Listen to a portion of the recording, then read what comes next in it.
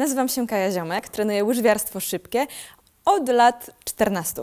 Rodzice zabrali mnie na zawody organizowane w mieście, jakieś tam zwykłe zawody dla dzieci.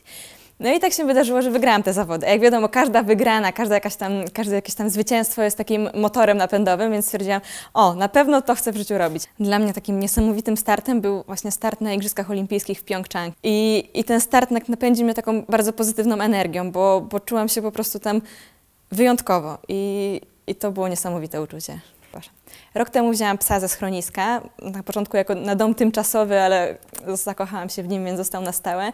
Jakby bardzo mnie fascynuje e, trenowanie psów i jakby budowanie z nim relacji, więc e, też się w tym temacie bardzo e, doszkalam, dużo czytam i dowiaduję. PFN Team 100. Wspieramy zwycięzców. Kaja Ziomek. Bądźcie z nami.